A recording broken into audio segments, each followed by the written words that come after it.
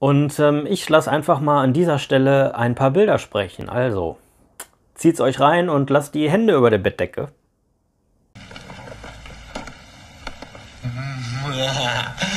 Eventuell, ja.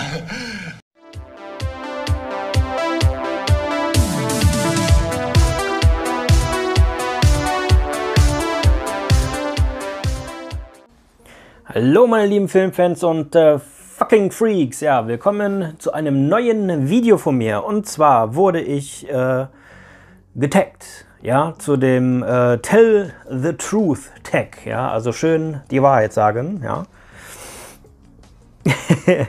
und ähm, ja, getaggt wurde ich vom äh, lieben Stone Cold, ja, der sich mit äh, ein paar äh, anderen die, ja, äh, die haben die Köpfe zusammengesteckt und haben auch noch mal einen Tag rausgehauen. Und ähm, ja, ich würde auch sagen, lass einfach direkt anfangen. Und ähm, das sind jetzt, ich muss noch mal kurz gucken, ja, das sind 17 Fragen und ähm, die versuche ich so schnell wie möglich, damit das Video nicht zu lange wird, äh, zu beantworten. Und am Schluss werde ich noch eine Person taggen, ja, die äh, auch die Wahrheit sagen muss. So, fangen wir an. Hier sind die Fragen. Erstens, welcher Film beschreibt deine Sicht auf das Leben und die Menschen am besten? äh, die Sicht auf das Leben und ja, ähm, ich sag mal so, äh, das würde eher so in Richtung Walking Dead gehen. Ja, ähm, da fühle ich mich irgendwie, ja, umgeben von irgendwelchen hirnlosen Zombies und ähm, ja, das wäre so meine Art und Weise. Ich will, will da versuchen, ein bisschen was Politisches irgendwie wegzulassen. Also ich fühle mich halt manchmal so äh, von irgendwelchen Mitmenschen oder so, äh, ja, wie soll ich sagen, die laufen halt für mich in, in, in der Welt rum wie hirnlose Zombies, ja, von daher würde ich einfach mal sagen, Walking Dead ist zwar kein Film, aber ja, um einfach mal jetzt was gesagt zu haben. Zweitens, äh, wenn du oder dein Leben ein Film wäre, welcher Film wäre es dann? Gibt es eigentlich gar nicht, aber äh, ich sag mal so, mh, mm, also ich habe wirklich lange überlegt und mir ist wirklich nichts eingefallen, was auf mich passen würde. Äh, aber jetzt so, wo ich hier gerade so alles ein bisschen vorbereitet habe, ähm, ist mir eingefallen, es gibt, ich bin ja Koch und es gibt ja den Disney-Film Ratatouille, ja, der hat was mit Kochen zu tun. Deswegen sei ich einfach mal Ratatouille. Keine Ahnung. Schwierig. Ähm, drittens, wenn du das Ende deines Lieblingsfilms umschreiben könntest, wie würde die Story ausgehen? Äh, muss ich ganz ehrlich sagen, gar nicht. Ähm, weil ich habe nicht nur einen Lieblingsfilm, ich habe mehrere.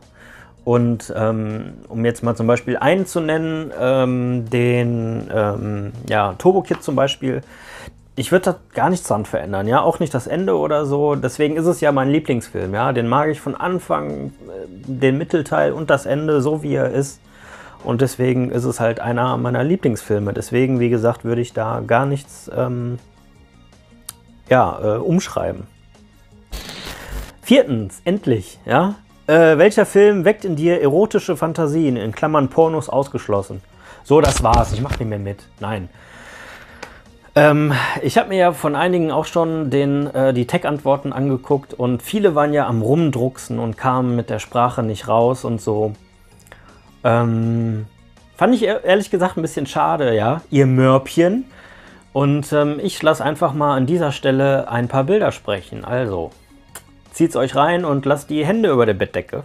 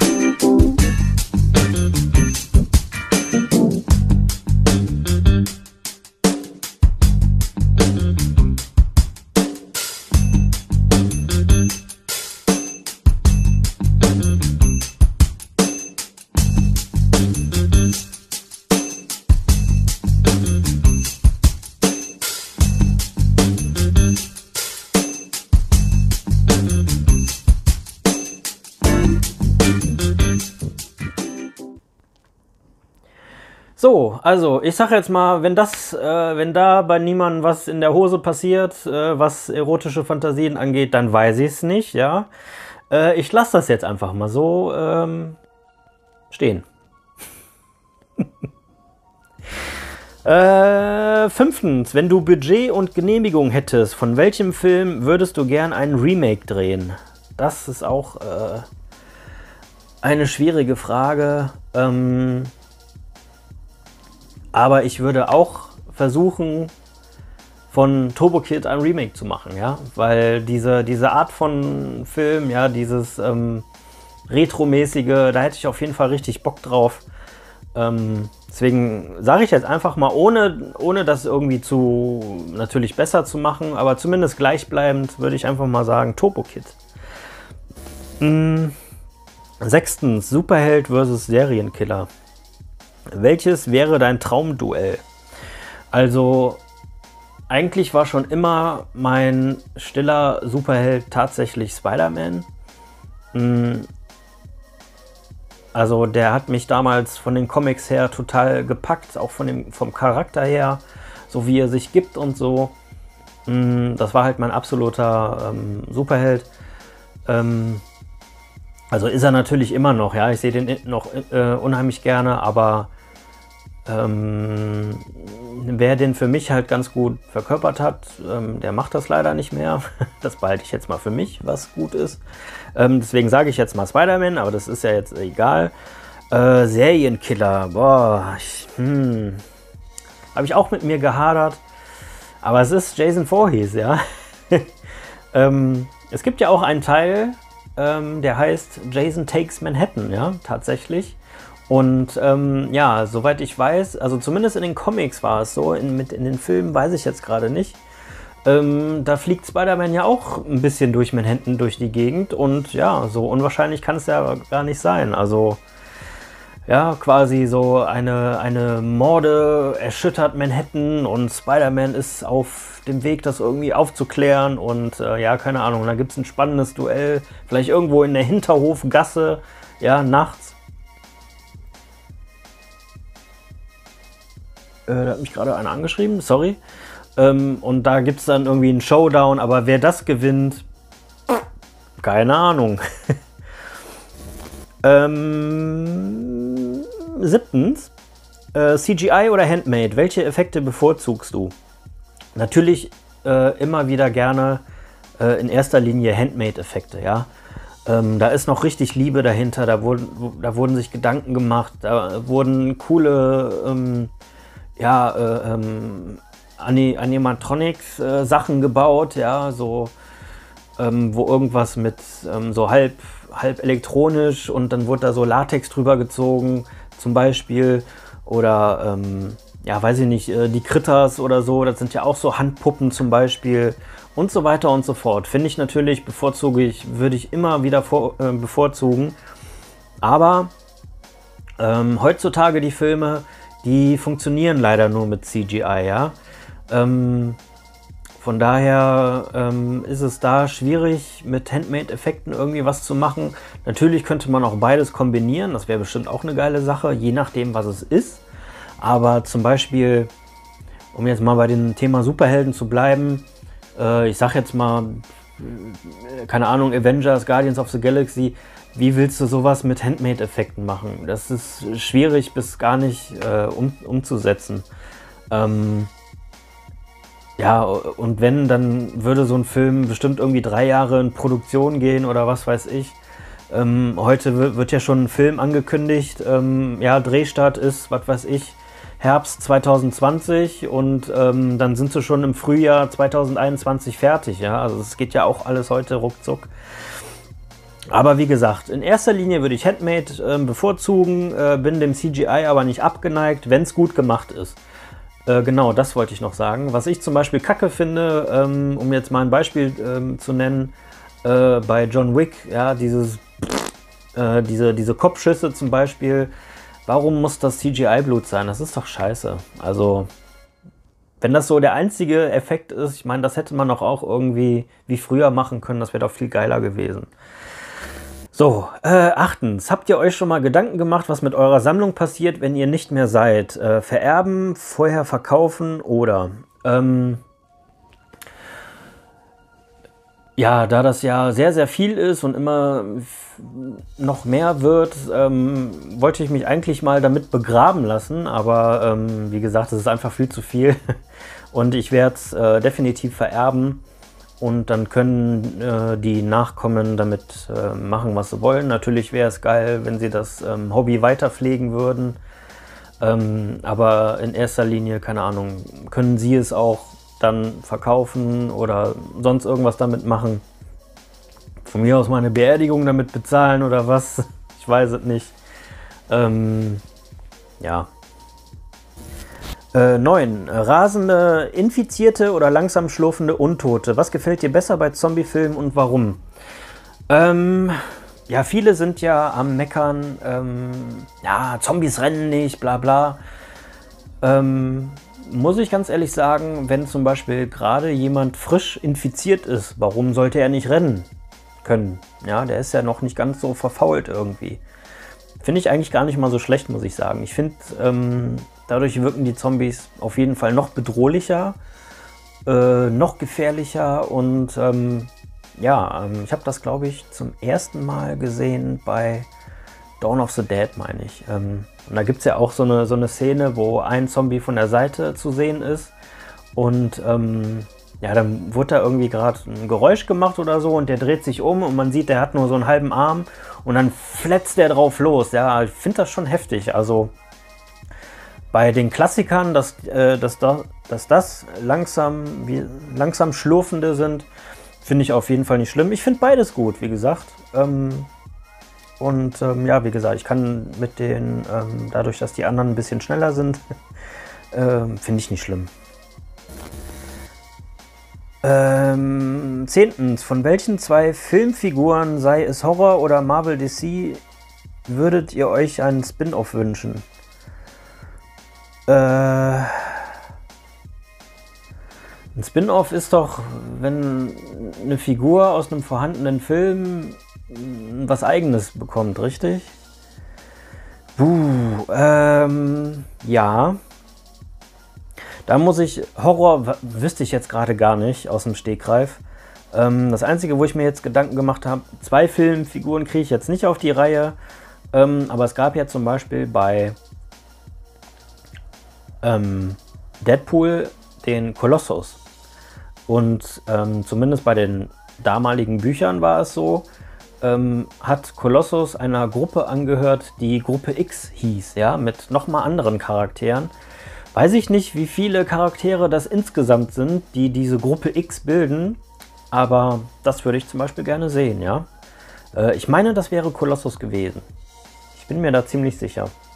Ähm, ja, wie gesagt, da würde ich mir gerne mal eine andere Story wünschen. Vielleicht kommt es ja noch, ähm, keine Ahnung. Puh, weiter. Ihr seht, ich versuche das Tempo anzuheben. Ähm, 11. Halloween 3 und Freitag der 13. 5. Die wohl unbeliebtesten Teile der jeweiligen Reihe. Aber sind sie wirklich so viel schlechter als die anderen Filme oder liegt es nur daran, dass Michael und Jason hier mal nicht im Mittelpunkt stehen? Ähm, ja, äh, Halloween 3 ist äh, Season of the Witch, äh, finde ich ein richtig guter äh, Horrorfilm. Ähm, natürlich ist das irreführend, wenn der natürlich heißt äh, Halloween 3, ja. Was sie sich jetzt dabei damals gedacht haben, weiß ich jetzt auch nicht, habe ich jetzt nicht äh, recherchiert. Aber ähm, schlecht finde ich den auf gar keinen Fall. Ähm, dort macht ja auch Tom Atkins, ich wollte gerade Scott Atkins sagen, aber das ist ja hier, uh, Ha, hu, hu. 1A-Parodie. Ähm, nee, Tom Atkins macht damit absolut toller Film. Wie gesagt, äh, einfach mal nicht lesen, dass da Halloween 3 steht, sondern nehmt euch vor, der Film heißt Season of the Witch und dann funktioniert das auch, ja. Freitag der 13. Teil 5, äh, ein neuer Anfang, war ja, wo Tommy Jarvis sich immer noch nicht da erholt hat von seinen Angriffen von Jason und dann nochmal irgendwie äh, in ein Camp geht, um das irgendwie auszukurieren. Ja, ich erinnere mich dunkel. Ähm, kann ich auch nichts Schlechtes gegen sagen. Also, wie gesagt, die, ähm, die ganzen Freitag der 13. Filme, die sind alle für sich, sind die unterschiedlich und auf ihre Art und Weise auf jeden Fall gut. Also ich habe auch nicht so mitbekommen, dass der irgendwie unbeliebt sein soll. Ähm, deswegen kann ich da nichts Schlechtes sagen. Äh, also natürlich ist er da, äh, ich weiß nicht, ist der da gar nicht zu sehen oder? Kann mich leider nicht mehr erinnern. Aber wie gesagt, ich habe den jetzt nicht als schlecht in, in, äh, in, in Erinnerung. Von daher, ähm, ja, weiter geht's. Zwölftens, was war dein erster Film in Klammern VHS? Ähm, da gehe ich jetzt einfach mal auf die Videothekenzeit zurück. Äh, und da habe ich mir nicht einen, sondern zwei Filme damals ausgeliehen. Ähm, das war einmal irgend so eine schwarze Edition, ja, irgendein schwarzes Cover mit äh, Zombie, das Original. Und ähm, da wusste ich, ich weiß nicht mehr woher, da wusste ich nämlich, das ist Zombies im Kaufhaus. Also ich kannte den damals nur unter diesem äh, Titel. Und äh, den habe ich mir damals ausgeliehen und ähm, Invasion der Zombies habe ich mir ausgeliehen. Ja, ich wollte damals, äh, direkt wo ich 18 war, bin ich zack in die Videothek, habe mir einen Ausweis ausstellen lassen und wollte unbedingt Zombie-Filme gucken, weil ich das vorher noch nie gesehen habe. Und äh, da habe ich halt dieses äh, geile Cover, was ich heute immer noch mega geil finde, ähm, gesehen von Invasion der Zombies. Und dort habe ich auch das erste Mal halt diese ähm, Gedärme fressenden Viecher gesehen und da war mir damals ein bisschen schlecht, ja, aber ich fand's geil. also, wie gesagt, äh, Zombie war mein erster Film und äh, Invasion der Zombies. So, äh, wann fing es circa bei dir an, Filme systematisch zu kaufen und zu sammeln? Und wie kam es dazu, dass es zum Hobby wurde? Äh, ganz einfach, ähm, ja, wenn man so will, durch meine Familie weil ähm, mein Cousin hat, äh, der ist ein bisschen älter als ich, der hat auch schon angefangen mit äh, Filme zu sammeln und zu gucken und hat mir auch so ein paar Sachen gezeigt. Ey Olli, guck mal hier und so weiter. Äh, und mein Vater hat auch unheimlich viel vom TV und so auf, aufgenommen. Und der hat zum Beispiel damals seine VHS in diese Hardboxen reingetan, die so aussehen wie so ein Buch, ja. Die, die waren auch so ja, mit so Kunstleder überzogen und hat, hatte so, so goldene Applikationen. Weiß ich jetzt nicht, wie das heißt, ja, aber äh, und die waren dann halt in, ja, in, in dem Schrank drin und es sah halt aus wie so Bücher, ähm, wie richtig teure Lektüre, aber dort hinter waren halt die ganzen äh, krassen Filmchen und so. Mein Vater hat auch so Alien aufgenommen und auch Freitag der 13. und hat die auch von irgendwoher kopiert, ich glaube von, von seinem Bruder damals oder so. Und so hat das dann eigentlich damit angefangen irgendwie. Ne, ähm, als man das dann richtig wahrnehmen konnte, ähm, was man da eigentlich sieht und so weiter. Äh, und als ich dann mein erstes Geld verdient habe, ab da habe ich halt quasi angefangen, äh, auch ja, Filme zu kaufen. Ja, dann hast du dir, am Anfang ist das immer natürlich was Neues. Ja, dann keine Ahnung oh, ich will alles von Stück langsam haben, ich will die ganzen Teile davon haben, ja, dann hast du auch erstmal so Ziele, ja, dann holst du dir alles, was geil ist. Und irgendwann denkst du dir so, brauche ich das noch? Aber ja, um mal eine, eine Zahl zu nennen, ich sage jetzt mal so mit 13, ungefähr so mit 13 Jahren hat es bei mir richtig angefangen mit äh, Kaufen und Sammeln. Und ähm, ja, und so wurde es dann ein Hobby bis heute noch. Ja, finde ich richtig cool. Und ähm, ja. 14. Welche Filmreihe, Serie magst du überhaupt nicht, obwohl immer noch mehr Teile, Staffeln rauskommen? Äh, ganz klar Walking Dead. Ähm, das ist so eine äh, Kacke mittlerweile. Ähm, also ich habe auch, äh, ich glaube, wer hat das denn noch gesagt? Äh, weiß ich nicht mehr. Ähm, ich habe auch nur ähm, bis äh, die Staffel geguckt, wo Negan aufgetaucht ist. Ja, der hat versucht, nochmal irgendwie so frischen Wind reinzubringen, aber die Folgen waren alle so langweilig irgendwie. Äh, und dann auch teilweise unnötig in die Länge gezogen. Ja, dann so, dann wurde das. Äh, dann wurde so eine komische Sache mit dem Governor damals, das wurde so über zwei, drei Folgen gezogen. Da dachte ich mir so, was soll denn das? Und diese ganzen Flashbacks und einfach nur langweilig. Ja, da ist ähm, Walking Dead ist nicht mehr dieses Thema im Vordergrund. Ja, da geht es eigentlich nur noch um gute Zeiten, schlechte Zeiten. Äh, und es ist auch immer derselbe Ablauf. Ja, die, die Gruppe, die, die setzt sich irgendwo fest. Ja, die stationieren sich irgendwo. Dann verfeinden die sich mit irgendjemandem, dann ist ein großer Kampf, ein großer Krieg, alles ist kaputt und die ziehen wieder weiter. Ja, dann ist vielleicht noch irgendeine tragende Rolle ist gestorben. Ähm, und dann, so ist es, so hat es sich für mich immer angefühlt, ja. Also von daher, hört einfach auf, lasst die Serie sterben, es ist vorbei einfach nur. Äh, 15. Alte Herrenhäuser, idyllische Kleinstädte oder einsame Waldhütten etc. Welches Setting bevorzugst du in Horrorfilmen, beziehungsweise ist für dich am atmosphärisch, äh, atmosphärischsten? Ähm, ja, natürlich alles, was äh, in Wäldern zu tun hat, definitiv. Wobei ich bei alten Herrenhäusern und idyllische Kleinstädte finde ich auch geil, ja. Ähm, um jetzt trotzdem mal äh, einen Zombie-Film zu nennen. Ähm, ja, wenn da eine Kleinstadt ist, die so verlassen ist und ähm, wo schon, ja, keine Ahnung, wo schon alles äh, äh, kaputt ist und Scheiben eingeschlagen und irgendwelche ausrangierten Autos da stehen, kann auch ähm, definitiv atmosphärisch sein, ja.